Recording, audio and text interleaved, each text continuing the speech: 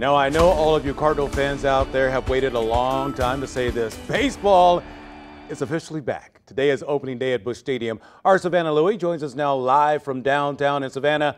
I love the fact that you are all geared up and ready to go. Rennie, I've been waiting for this day since I got to St. Louis like eight months ago.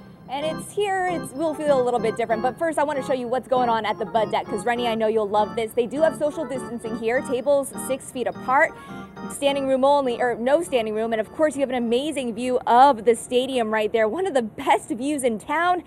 I gotta say, the only people allowed in there though are the athletes. Today, no fans are allowed in that stadium. No Clydesdales will be walking. Normally, all the Hall of Famers would be here, but that's not happening either. Now, remember, this is a shortened season with only 60 games. All right, but it's not all bad news. Cardinals Nation patio will be extended, so more people can watch the game on Clark Street.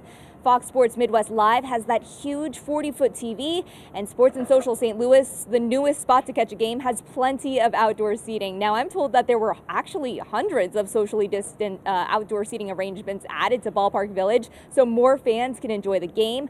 Reservations are recommended, masks are required, and cashless payment is encouraged. Now, right now, the Bud Deck is actually sold out tonight and throughout the rest of the weekend, but going into the next few weeks, there are ways that you can reserve a table here. There are also plenty of spots where you can catch the game downtown. We have a list of that at ksdk.com as well as our 5 on Your Side app. Reporting live from downtown, Savannah Louie, 5 on Your Side.